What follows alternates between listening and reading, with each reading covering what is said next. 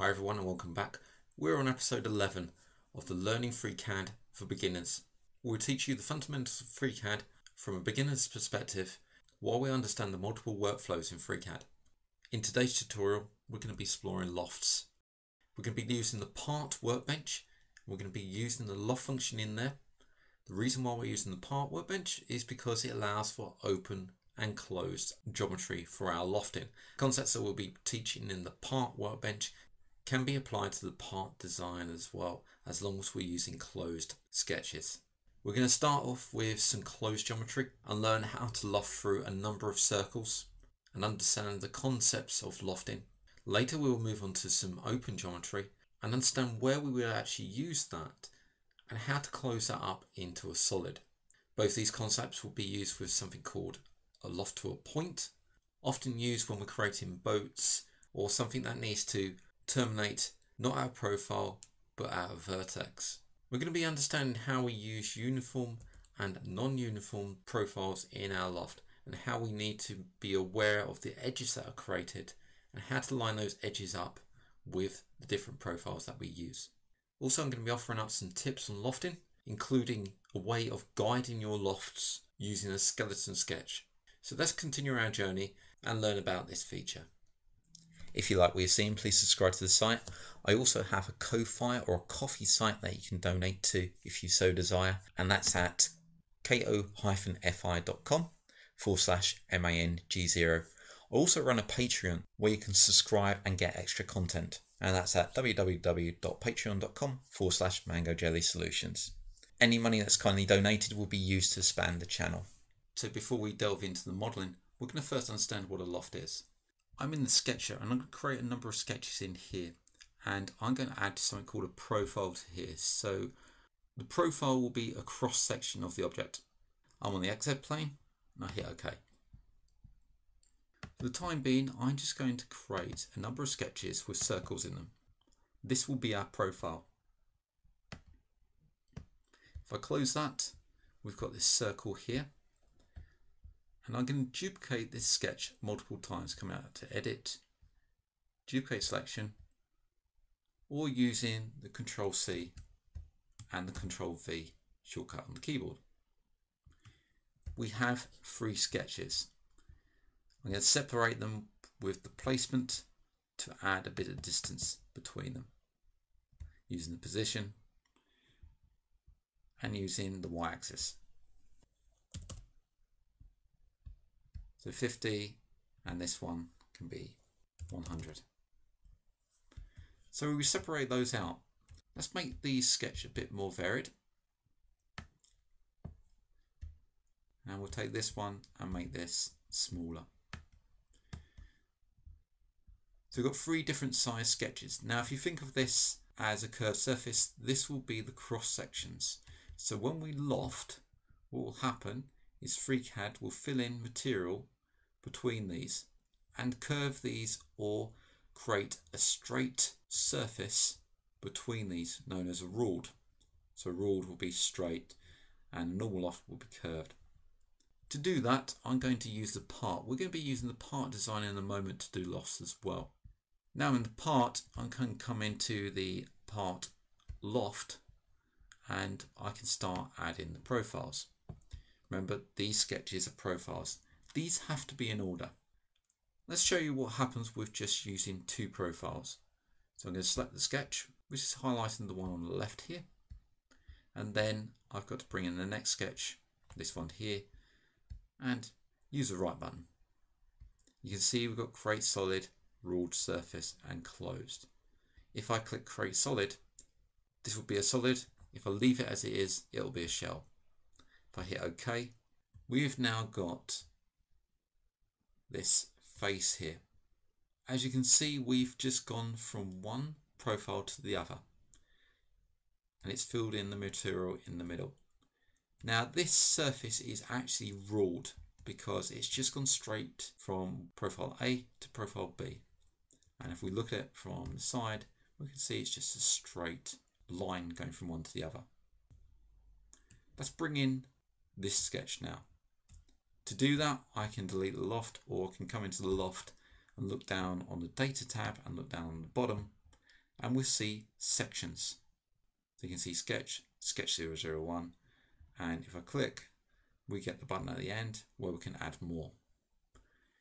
In the link, we just click on sketch 2. It highlights when we roll over it and hit OK. Doesn't look like anything's happened, We can see there's a tick by the loft. If I click on the screen, you can see that's lofted all the way to this profile. Now if we look from the side, we have more curvature across here. That can be controlled to some degree by the max degrees. At the moment it's 5 and we can set that to 2. And the more profiles we have, the more this comes into play. So let's add a few more profiles to this. So I'm going to come into Loft and I'm just going to copy this last profile using Control C and Control V and copy it a couple of times. Select the sketch, go into the placement, go into the position and set this to 150 and set this one to 175. We'll now add those to the loft. By come out to the loft, having a look at the sections, clicking the button on the end and just clicking 3 and 4 and hit OK. Click off.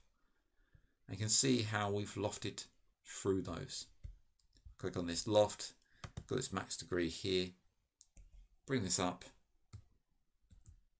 And what I've done is just hit the shortcut for refresh and you can see if I use the down arrow and using the shortcut for refresh I'm on Ubuntu so that's control R. You can see how that has effect on that surface. So I'm increasing it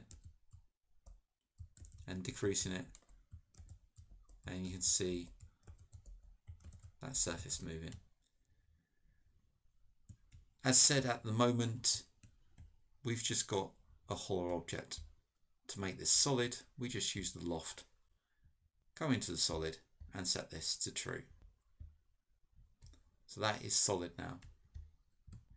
If I use the ruled, set that to true, you can see the effect that we have. So we have a straight loft between each of the profiles. We can also loft to a point. So let's add a point in here.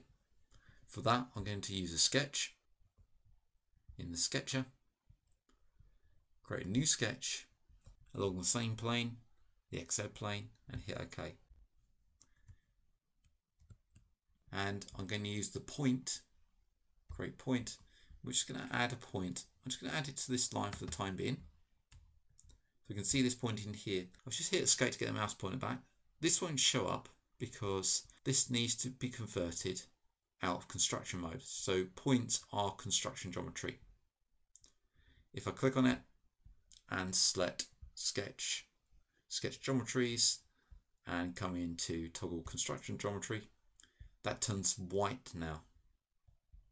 That's no longer construction geometry. I'm just going to move this up to the center and come over to the model, click on this sketch,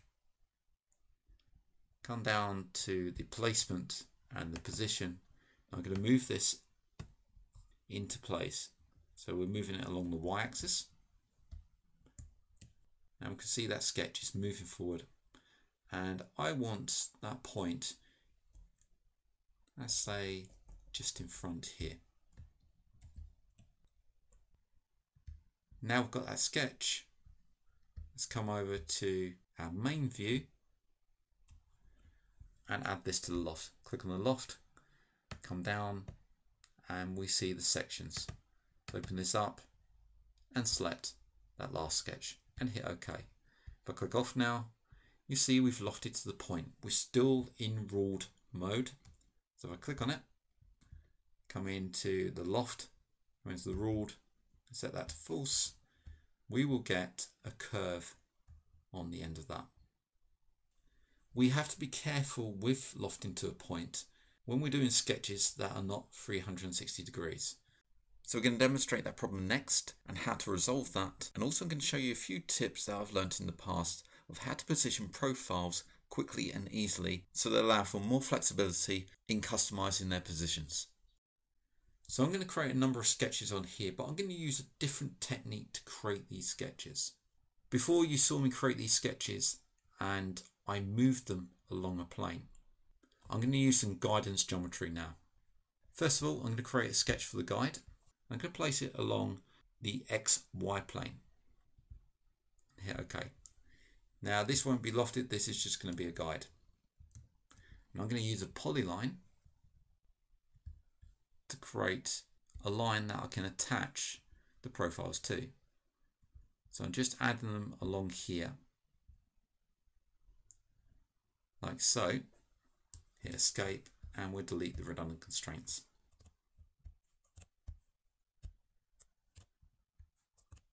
So those redundant constraints are gone now. And the thing is that I have this polyline, so I can move this into position and decide where this is going to start, where this is going to end. I've placed it through the center. I may want to start it at this point. And I can set lengths in here. So I can create distance between the points at exact amounts. So 50, and this one I'm going to put 50 as well at 25. So we've got this in here. If I hit close, what will happen is we'll get a line with a number of vertices across there. Now it's well have come into the view and clicking on this sketch and finding the point size. So coming down, you'll find the point size here and up in that point size to something larger. That means we can easily select these points. Now what I'm going to do is attach sketches to these points that run this way. So we're going to create a sketch and these are going to be our profiles. Now it doesn't matter where we place these. If I hit OK on the XY plane, I'm going to come over to the model and hide that sketch. And I'm going to create a simple boat shape.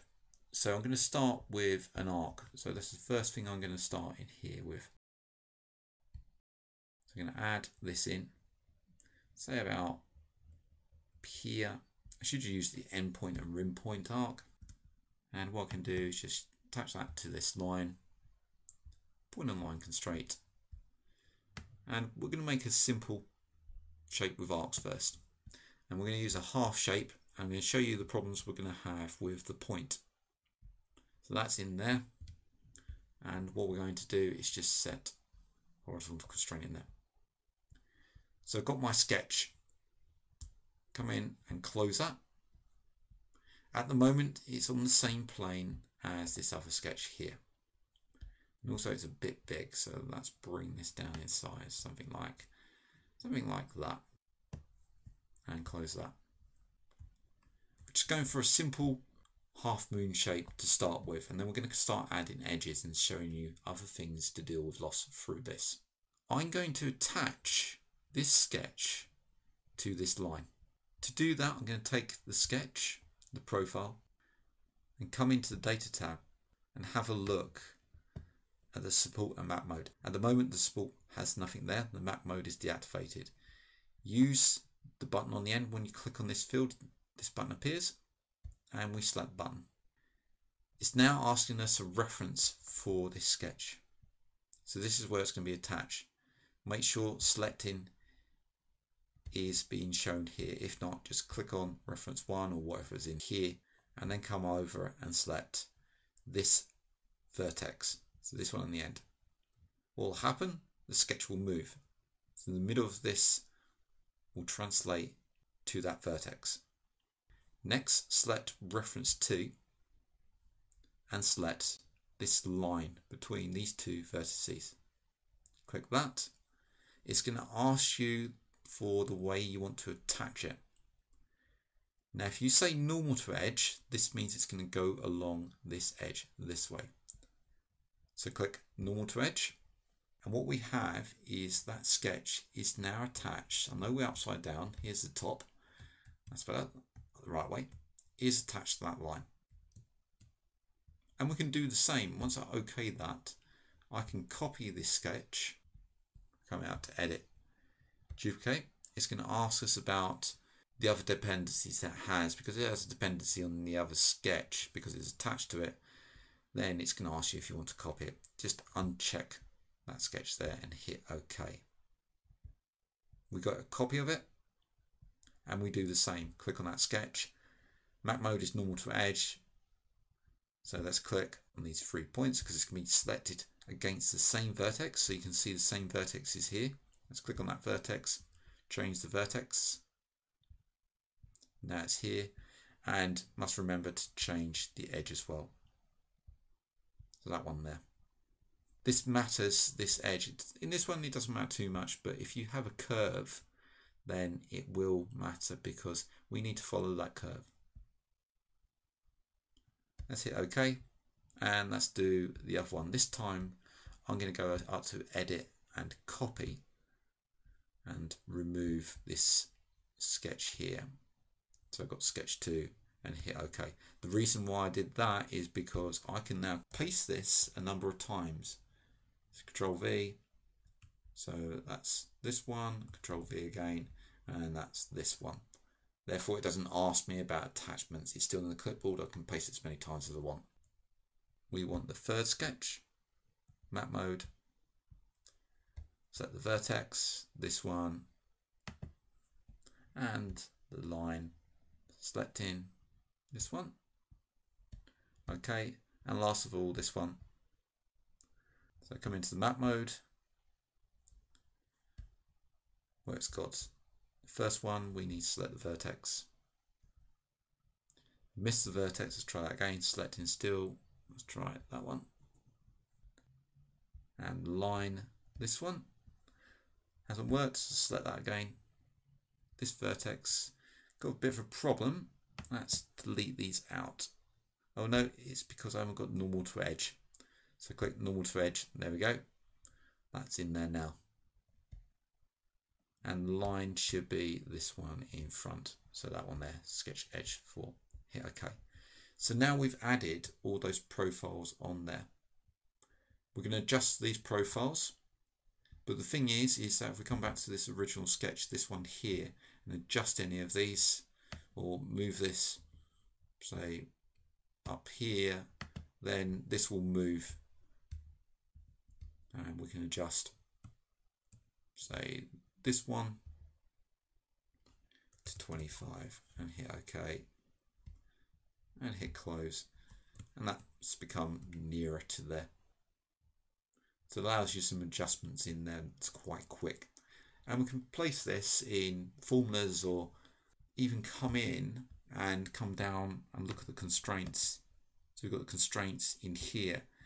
If we named these constraints on this one, this sketch, our one with all the lines in, we come down here. This is better. We've got all the constraints here, so you can see the individual constraints. We've got 25 to 25.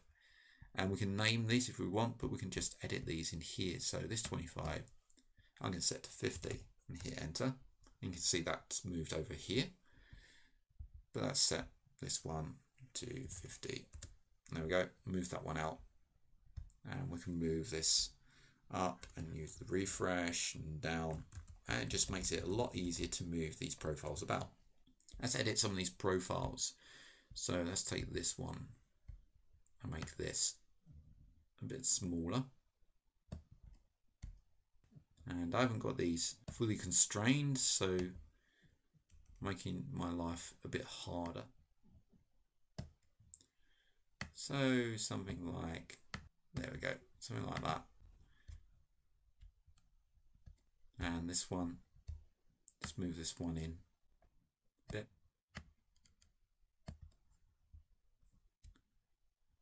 so we've got something like this. Now when I loft through these we'll get half a shape. So come over to the part and use the loft. So we can use it from the toolbar here, this loft feature.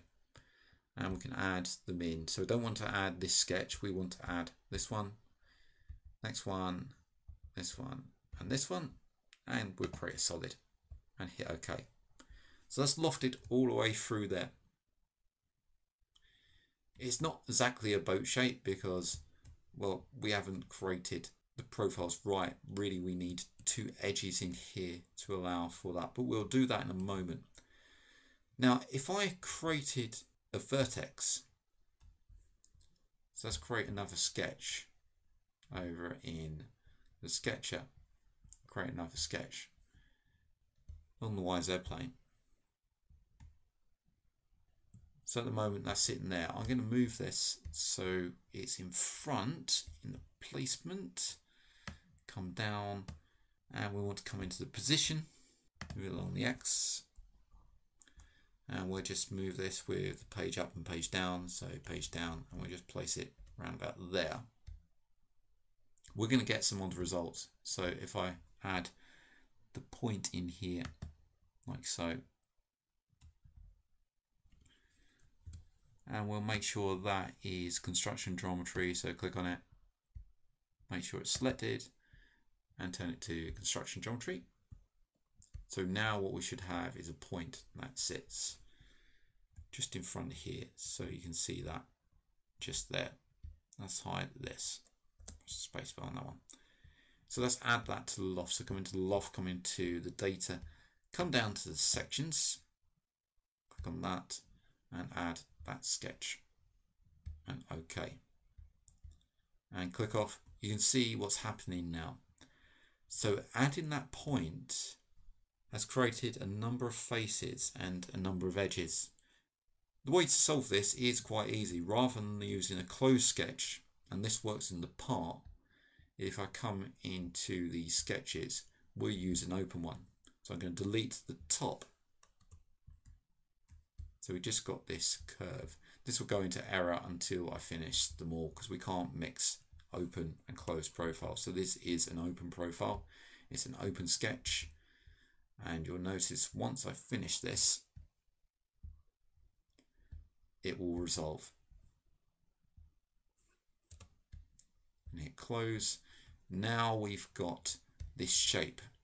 And you can see that we haven't got any problems at the moment I've still got it set to close so it's still got back so that's fine so I've still got it set to solid it's still got a back so it closes the back there I need to if I wanted this say a solid at the moment well it's just a surface with a back or a shell you can see we haven't even got an edge on this one so we can't actually use this so go over to the loft and set the solid to false, then we've got that there. So we've got this edge here and this edge running along this way and this edge running along this way. So remembering back to our previous tutorial, what do we do? Well, we come over to say the part workbench and we'll use this edge and control click the other edge and remember ruled surface go into part, come down to create ruled surface, create a ruled surface across those, and then we can do the same in here.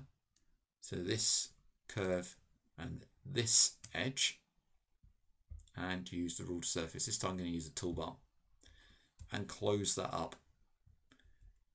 And then we can compound this up by control clicking on the surfaces like so. Part, compound, make compound, and then use that compound, come up to part, convert to solid. Hide the compound, and now we have a solid. This one here. Make sure that everything inside is hidden. Well, the sketches aren't hidden, so we can get rid of those as well. Just highlight those and press the spacebar and just hide them. And this one. So we've got this pear-shaped object here, which is a solid. And we know that's a solid because we can do Boolean operations against those.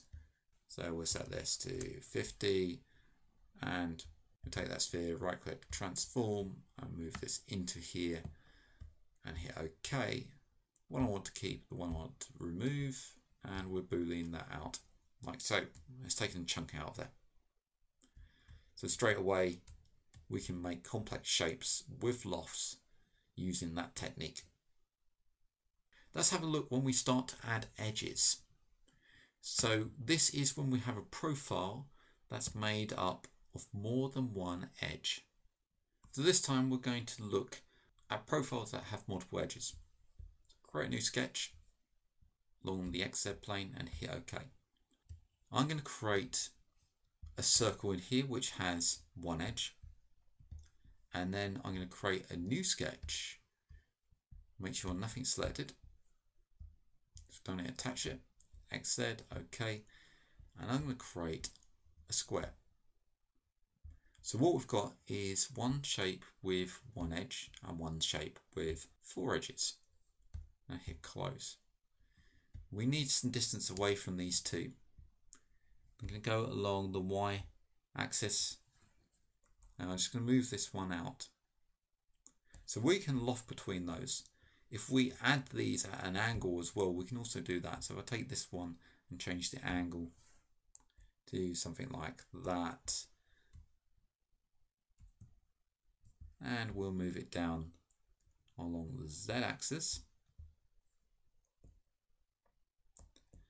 We can loft between those.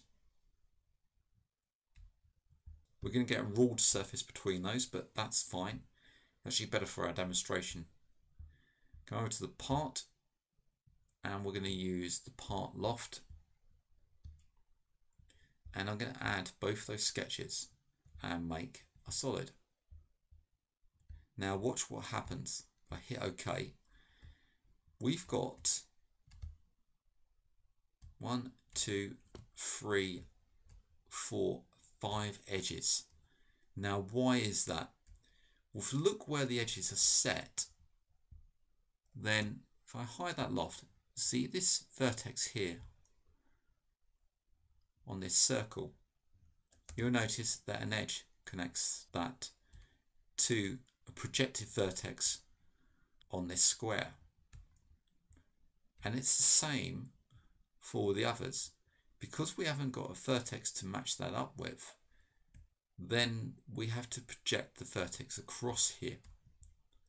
So we will have one edge and four edges, but when we go to the loft and hide those sketches, we will have this vertex that morphs through our profile to the same position as it would be on the circle here. And our edges divide up. Now, if I change this sketch, so this sketch here, and we'll use the splitting tool, which is a brilliant tool over in the geometries and split edge. It's also available from the toolbar here. And what we're going to do is split this, but I need to find out where. Let's just drop that tool by right clicking and come into this sketch press the spacebar. I need to find out where the vertices are on this sketch. So there's one in this corner. So we'll split here and there's one here. So split here, one here. Now remember we've got a vertex around here somewhere as well.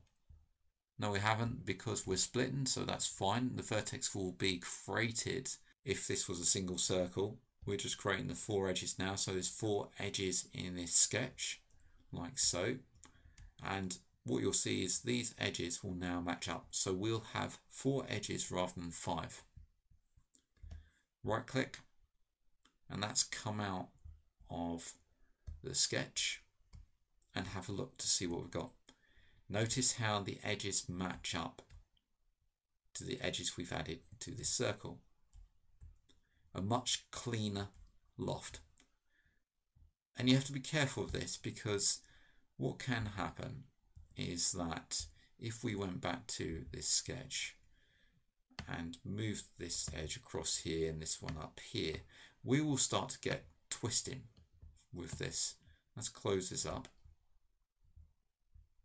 Use a coincident constraint and close. And you can see how that's twisted there. I mean, you can use this to your advantage, but this can be a bit of a problem when you're creating curves and you're trying to get a nice clean surface. You have to be careful of this twisting. So it's a good idea to line up the vertices and keeping an eye on the model as you're creating them. So here's another tip for lofting to a point. I have this boat shape here and this is built in the part workbench. I've fusioned these two together because I've used a mirror. So I've only done one side. So I've done this side.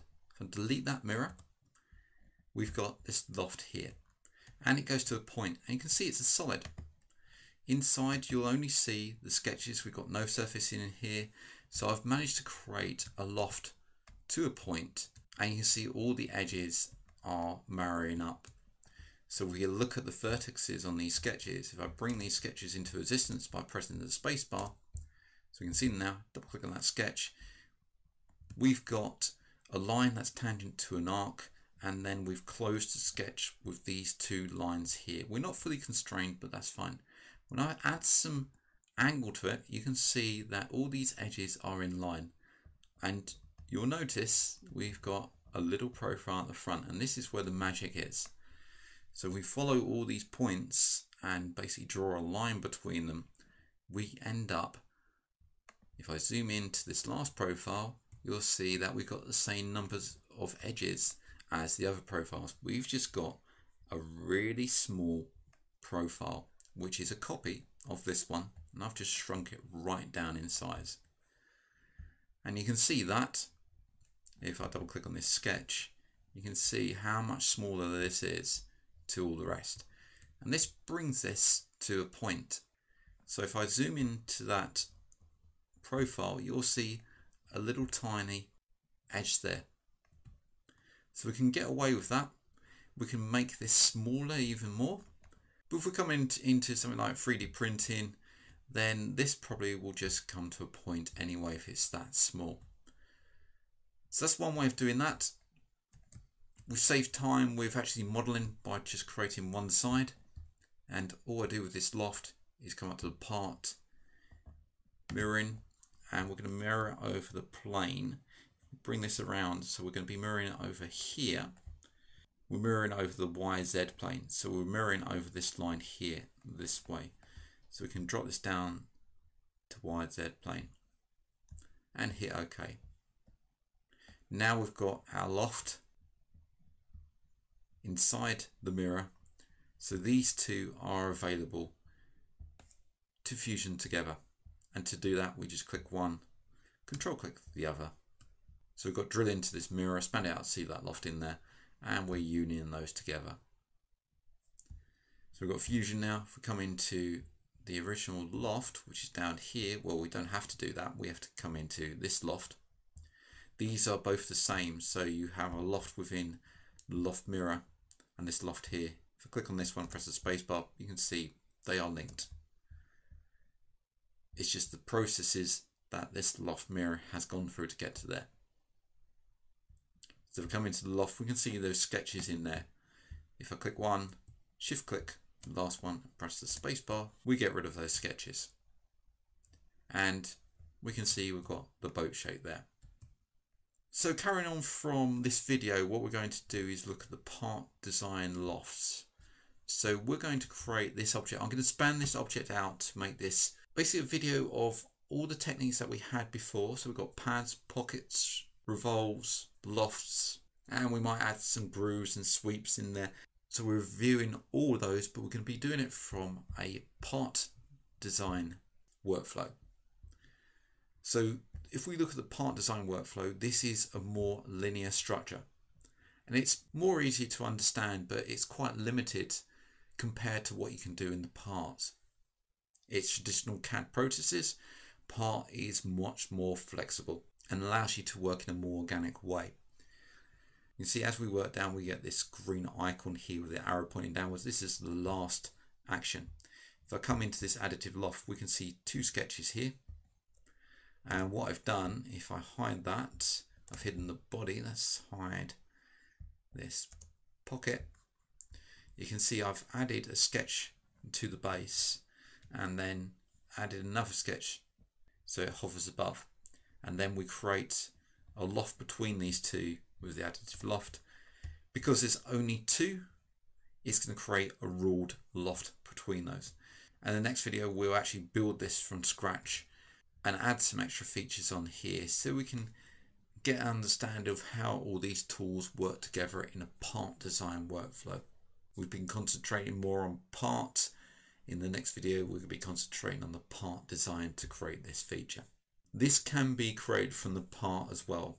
Very similar workflow, but we'll be using booleans to actually place those together, to union those together. In the part design, it's done all for you because you're only allowed a single body object. So multi-body objects aren't allowed in the part design. That means everything is fused together. So I hope you enjoy this video and I hope to see you in the next one. If you like what you're seeing, please subscribe to the site.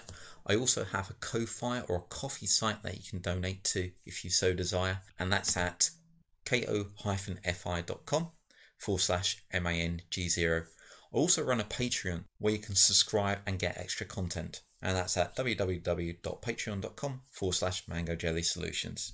Any money that's kindly donated will be used to expand the channel. Thanks a lot for watching and subscribing, and I'll see you again soon.